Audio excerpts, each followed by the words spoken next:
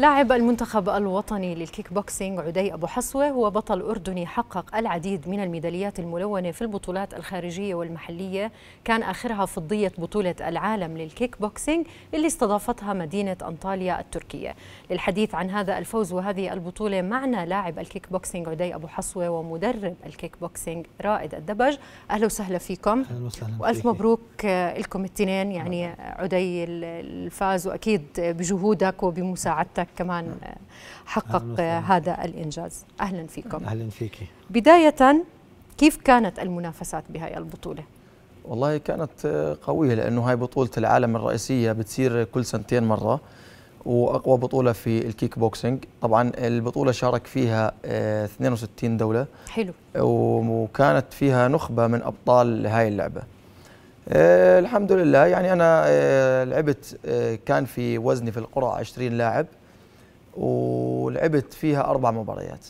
كانت يعني مباريات قوية. المباراة الأولى فزت على لاعب من جورجيا المباراة الثانية فزت على البطل من ألمانيا. المباراة الثالثة لعبت مع اللاعب التركي كمان فزت عليه. المباراة الأخيرة كانت النهائية لعبت مع اللاعب الروسي انتهت بنتيجة 2-1 للاعب الروسي. معلش بس فزت ثلاثة يعني. آه الحمد لله. إن شاء الله المرة الجاية بتعوضها بالذهب. إن شاء الله إن شاء الله. يا رب. كابتن آه، كمدرب كيف كان التحضير لهاي البطولة بهذا العدد من الدول والمنافسة الكبيرة؟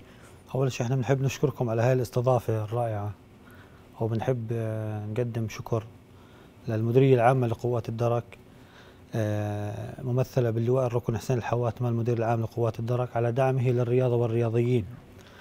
طبعا إحنا لما بلشنا تدريب لهي البطولة آه، عملنا معسكر تدريبي لمدة ثمان أسابيع. كان تدريب صباحي مسائي بالتعاون مع الاتحاد الأردني للكيك بوكسينج. طبعا شبابنا كانوا الصبح تمارين لياقة بدنية ورفع لياقة بدنية والمساء تمارين قوة تمارين آه، نقدر نحكي قتال فايتنج شغلات زي هيك. انطلقنا على هاي البطولة طبعا آه الحمد لله بهمة عالية معنوية عالية الشباب كانوا على قدر المسؤولية. والحمد لله طب العالم رب العالمين المديرية العامة لقوات الدرك آه كانت مأمنة لنا كل سبل النجاح جميل. ومستلزمات النجاح لهذه البطولة معسكرات تدريبية وبطولات محلية وخارجية. آه، شاركنا في هذه البطولة طبعا آه، مع لاعبين الاتحاد الأردني للكيك بوكسينج.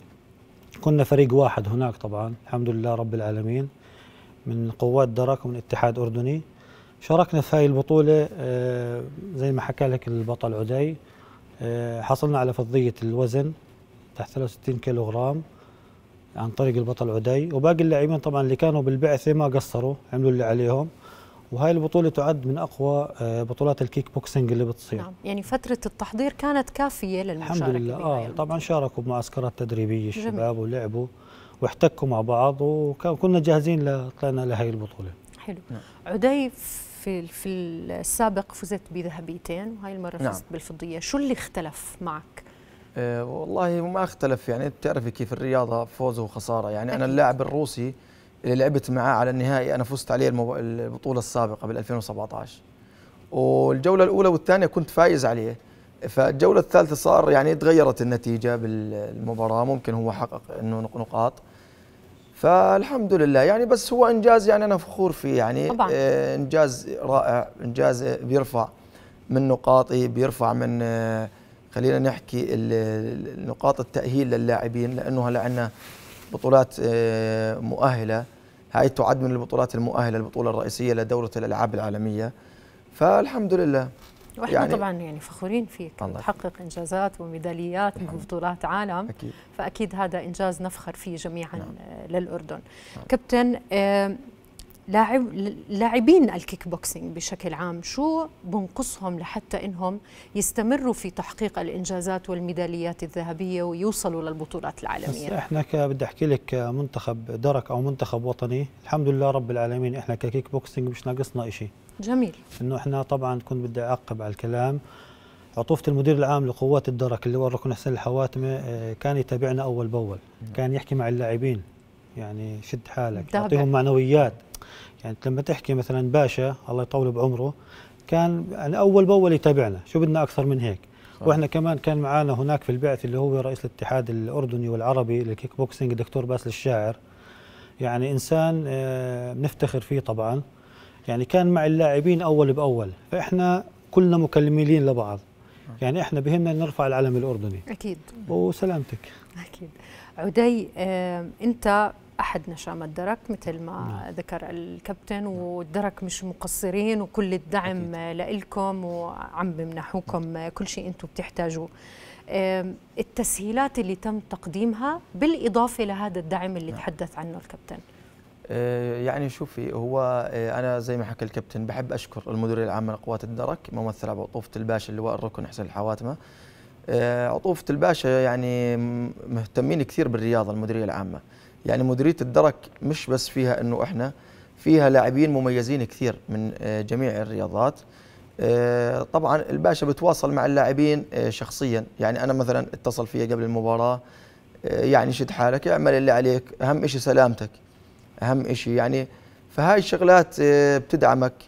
ومن ضمن كمان التسهيلات إنه إحنا آه، عاملين لنا تفريغ آه، بالدوام. يعني تفريغ بس للرياضة للتدريب نظام غذائي. لأنه بتعرف الرياضي بده أكيد. نظام غذائي يعني معين يمشي عليه.